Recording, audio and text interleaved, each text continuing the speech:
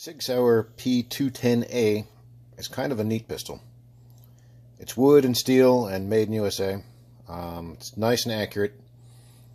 Being heavy, it really absorbs recoil. I've used it a few times in competition when my tendonitis was acting up, and um, the the lack of felt recoil made it worth holding the extra weight.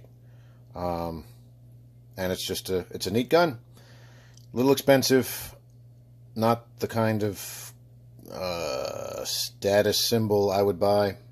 I bought it when there was a nation nationwide boycott for something I don't remember. We weren't supposed to buy something this one day for whatever stupid cause, so I decided I was going to buy something that day. And um, the pistol that I wanted to buy was not in stock at my local gun shop. He had this, and I said, "Well, okay, I'm you know countering the woke boycott. Buying an American-made pistol seemed like the the best thing to do." Um, the downside to it that just doesn't make any sense is the magazine that only holds eight rounds in a full size pistol. Eight rounds of 9mm. Apparently, it's a tradition, I don't know, a nod back to the original P210, but still, that's, that's nuts. I mean, if it was 45 or if it was 10mm, all right, well, eight, yeah, okay. But a full size 9mm that only holds eight rounds is nuts. So apparently there are three possibilities to increase that by a little. The first is taking your existing magazine and shortening the follower because that there seems to be a lot of extra material down there that we could probably get 9.1 millimeters out of there and cram in another round. I mean, I know there needs to be some height so that it doesn't tilt and get jammed, but I'm willing to do a little carving and see what happens.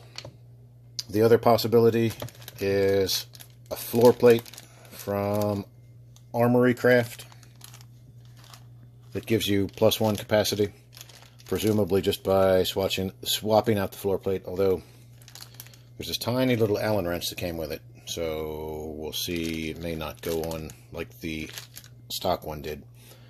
Um, and then the other possibility is a Pro Mag uh, magazine for a P225 that holds 10 rounds. So apparently, and this is not my discovery, YouTube told me about it, they're pretty darn close to matching each other, except the catch for the magazine release needs to be adjusted, filed just a little bit up.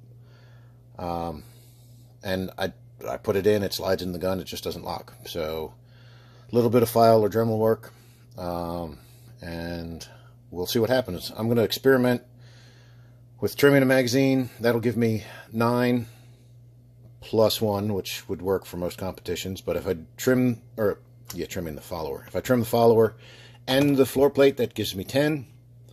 Um, trimming this will give me 10 plus one.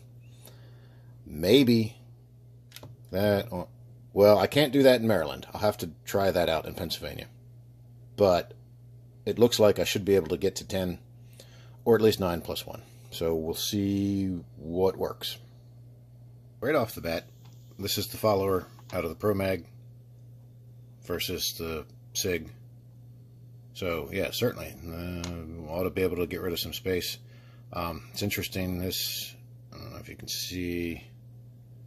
It's got some uh, swarf. I don't know what you call it. The little remnants from being machined, and it's just not.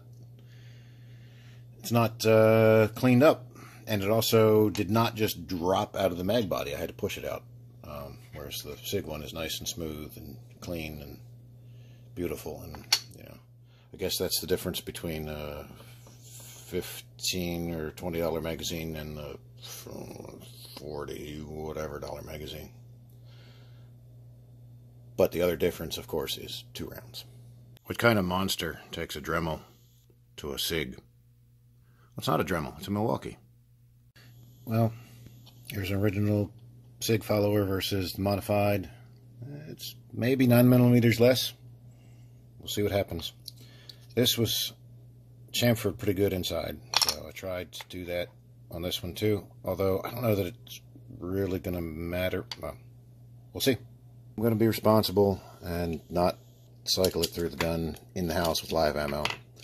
And I don't have um, enough snap caps. But there were nine rounds in there. The last one was pretty tight. I think the next follower might cut just a little bit more. I don't know how it functions. I mean, it's still long enough. I don't think it's going to tilt in there. But we'll see. Maybe Dremel is better after all than Hacksaw, even if you think you're being careful. So these are the Armory Craft Plus One um, magazine base pads. You don't use the little retainer, apparently, so I took that off the spring. Um, what holds it on, oh, there's no way you can see it. There's a little set screw that goes in from the bottom, that comes out from the top, that once it's slid onto the mag body, it comes up behind it to hold it in place. So you don't have the little push button anymore. Which also means, unfortunately, you can't take it apart without this little tiny Allen screw. But whatever. We'll see. I guess if I was a real YouTuber, I'd have a light, those fancy ones that make rings around your eyes. But I'm not. So I'm using LEDs that strobe the light. Right in front of my thumbnail, if you get it just right, there is the end of the set screw. It comes up and jams the, um, right there, so that the base plate does not slide off. But here we are once again. Oh my gosh, they come out quick, especially when you're left-handed or doing it left-handed and not paying. Yeah, whatever. There were nine in there. So here we have ten. Follower and base plate. And they don't cooperate it. Whatever, it was ten. One, ah, ah. Two, ah, ah. Three, four, five, six, seven, eight, nine, ten. Yay. Well, carving up the Pro Mag isn't super elegant, but a little bit of bluing on there and it'll look just fine. Most importantly, locks in the gun and jams with snap caps.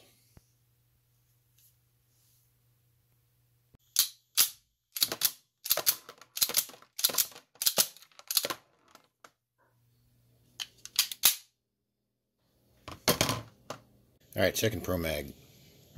Put some bluing on it. All right, I'll put Sharpie on it. But it looks slightly less hacked into. Maybe it'll work this time. No, it just, it doesn't work on video. I've done it six times without the camera rolling. I don't know. Oh, oh, there you go. I don't know. I do know that the Tipton snap caps are undersized, and that can sometimes make weird things happen. Also, it's a Pro Mag. What do you expect?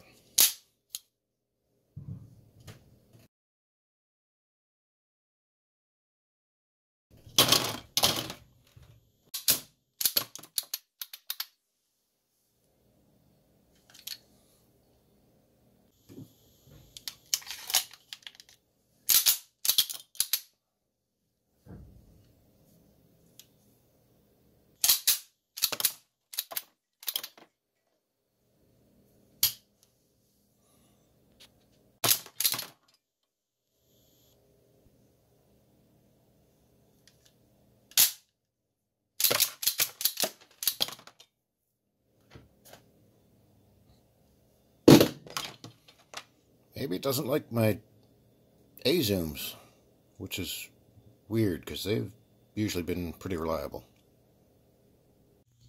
Well, after a little bit of testing yesterday and a Outlaw Steel Challenge match today, all told probably 250 or so rounds. Um, every one of my magazines, my modified magazines, functioned flawlessly in that the gun didn't jam. They cycled fine Um, the only issue I had was um, reloads. They wouldn't drop free. Um, and it's interesting. Well, we'll back up a little bit. I don't know what I'm saying. I'm going to edit that out. Um, yeah, dropping free. So, empty magazine.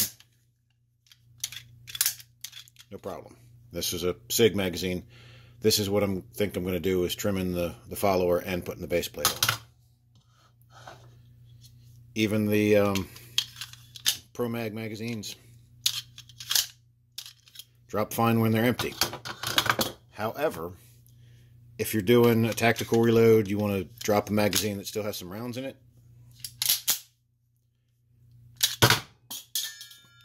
They work perfectly when they're not supposed to. Hold on. Golly. All right, we're going to try again to simulate the problem. There. There it is. Yay. See? Didn't come all the way out. You can pull it out. And you'll notice that the round... Where are we so we can get focused? The round has been pushed slightly forward. And I believe the front of the bullet is actually dragging on something in the mag well, and it catches on the, the mag catch. Um, and at first I thought it was just the the Pro Mags, but it actually, at least in messing around with snap caps, um, the Sig Mags do it too. So I don't know. That's kind of weird. And I, again, with the snap caps, even a completely unmolested by me, Sig magazine stock. You can see it's got the, the full length follower and regular base plate um, it would do the same thing. So I don't know what to make of that. I really feel like at the match it happened more or it was worse with the Pro Mags. But I think I'm going to do a little more experimenting with live ammo at the range. But overall, I'm kind of leaning towards the trimming the uh, follower. I don't know if you can see. Where can you see? Oh, yeah, see it, it doesn't come down as far and putting the plus one base plate on. Uh, because also that ends up with slightly shorter overall magazine and still 10 rounds. But on the other hand, having that extra bit sticking out the bottom, if you're going to have to rip it out, it's more to grab onto. So I don't know. I'm just thrilled that none of them jammed. Um, that was fun. Another thing I'm not thrilled about, though, the finish on my pistol is getting, see those spots? The finish is coming off which is weird. And uh, back here on the serrations. The finish is coming off. I mean on a $1500 gun with less than a thousand rounds through it you wouldn't think that would happen. Oh well my holster's going to wear the finish off anyway. Like, there. It is what it is. Hey, at least I got 10 round magazines for it now. I guess what I forgot to conclude with is even though the Pro Mags are cheaper, and where is it? This one, for some reason I thought this one ran better. I don't remember why, but that's why I marked it the good one. And this is number two. Oh, I know why. That was based on my snap cap playing around, which, yeah, despite all the problems I had with that, they all worked um, with live ammo, which was cool. But anyway, this is a, a much cheaper modification, but I don't... It's a little harder because you got to be a little more precise, and I just don't have as much faith in it as doing trimming the the follower and adding the base plate because I'm not altering any of the geometry, you know, on the mag body. So I think moving forward, I'm probably going to do a couple more of them um, just for reliability. And I, like I said, I just have a little more faith in, in that. But I'll end the video with um, some of my match. Um, the gun worked great. I wasn't shooting it too well, but in my defense, the past, I don't know, half dozen matches, I've been shooting a 22 revolver double action. So that was a whole lot different gripping this and thinking about squeezing that light trigger and having it go off as I'm thinking about squeezing it. one more rant. Gosh, I sound like a real YouTuber now. So for holster, um, I couldn't find a competition style holster that was made for the SIG P210. I did buy a leather one, but that's a leather holster, and I wanted something competition. So this is a what does it say on there? C and G. This is for Poly 80 Glocks, um, but check this out. Fits in there right nice. One thing I had to do, I had to trim it right here. It stuck up about to there. It was interesting. There's this little groove here. With the safety off, it fit in just fine. And fortunately, I practiced it a little bit um, as though I was doing the match and tried to holster it with the safety on, and it would not go all the way in. So I just zip that little bit off. Um, I don't think that should affect how it handles a Poly 80 anyway, because it's got all these dimples for where you could move the the um, mount, which it's their own sort of Tek-Lok kind of thing that I'm not thrilled with, but whatever, it worked. It's got good retention. Probably wears out my finish, but my finish is failing anyway, and bought this thing to shoot, not to look at. So, C&G for Poly 80.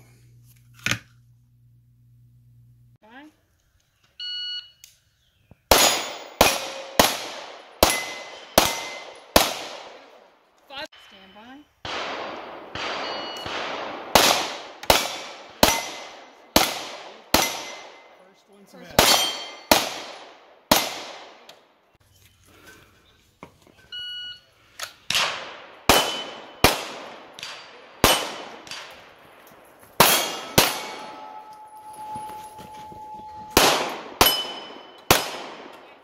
Eleven nineteen.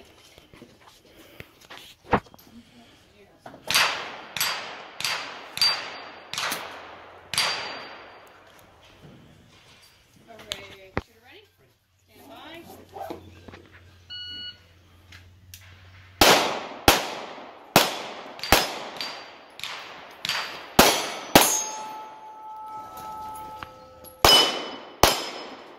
Ten ninety-three.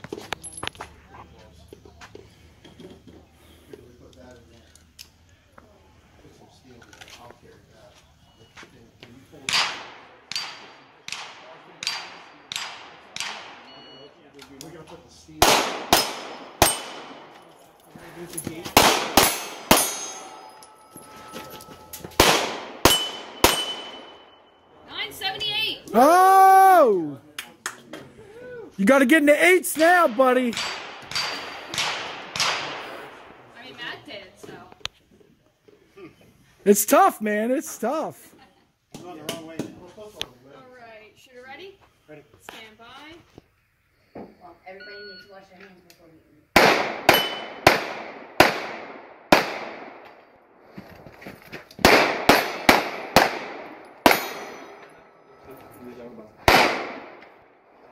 No me puedo